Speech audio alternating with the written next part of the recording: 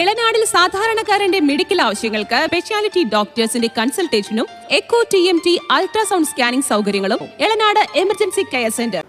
കിള്ളിമംഗലത്ത് ബൈക്കിലെത്തിയ യുവാക്കൾ വഴിയാത്രികന്റെ ഫോൺ മോഷ്ടിച്ചു.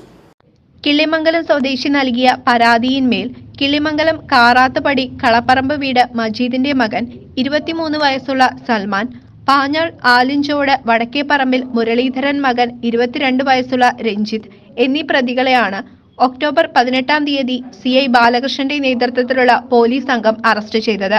തുടർന്ന് പ്രതികൾ കുറ്റം സമ്മതിക്കുകയും തെളിവെടുപ്പിനായി കൊണ്ടുപോവുകയും തുടർ നടപടികൾ സ്വീകരിക്കുകയും ചെയ്തു. C C Vinod Panjal.